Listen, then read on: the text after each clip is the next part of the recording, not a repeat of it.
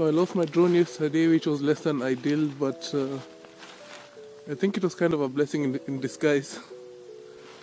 I've, I've been flying for about two, three weeks now, and uh, it wasn't that expensive, so the risk of monetary loss wasn't that big. But I kind of got attached to it, and uh, it was fascinating having a camera in the air. I thought I'd really be bummed out, and if I lost it, uh, right now the drone is hanging somewhere in these trees.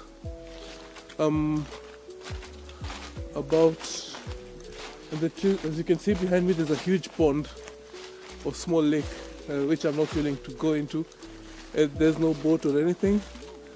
So the the drone is hanging for those branches that extend about four or five meters above the water. Uh, I brought a couple of broomsticks, all our telescoping broomsticks, with the with the idea that I'll connect a coat, uh, the hanger for the hook from a coat hanger at the end and try to snag it and somehow save it from falling into the water. But I'm giving up on that plan. uh, that seems it's a, it seems unlikely that that will work out. Uh, but I, am calling it a blessing in, in disguise because it's.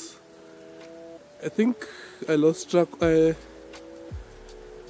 I forgot how serene nature is. That sounds like a cliche, but uh, it's really peaceful over here.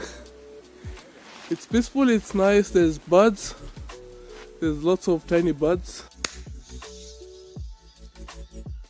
Some are pooping on me from the tree, uh, but that's okay. So, and I, I thought it would be nice to document that, just to document this epiphany that I have experienced.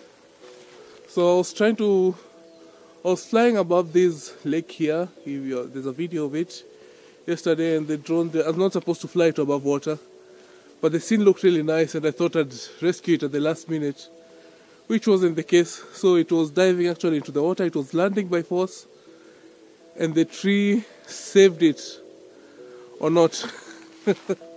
this tree is over here. So today was my second day coming to look for it. I actually spotted it with the from across the pond on the other side. I spotted it with my binoculars. I tried to take a photo. It was close to impossible because today it's quite dark right now it's uh, it's 1 p.m and uh, it's considering I lost it yesterday at around half past two. It was much brighter than today. Uh, today it's quite dark and uh, I could see it but there's not much more I can do about it. My wife suggests waiting for the lake to freeze over which is likely to happen maybe in hopefully in later this month.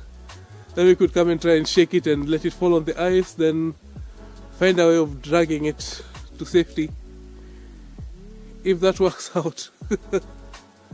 So anyway yeah that's all